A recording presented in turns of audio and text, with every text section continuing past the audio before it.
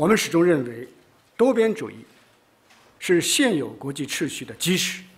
China sees 只有坚持多边主 multilateralism 义 as a 国 cornerstone 际关系 of the 才 existing 能逐渐 international order. 实现民主化。 The practice 国际 of 格局 multilateralism 也才能 will make 逐渐走向 international 多元化。 relations more democratic and 我 our 们 world 将 a 高举 more 构建 multipolar 人 one. 类命运共同体之 China 志 will carry the banner 继续站 of 在 building a 历 community 史 of 前 shared 的 future 正 for 确方 mankind, continue to stand on the right side of history and side with the common interests of the majority of countries. China will work with all nations under the principle of multilateralism to resolutely uphold the international system centered on the UN and the international order underpinned by international law. Thank you.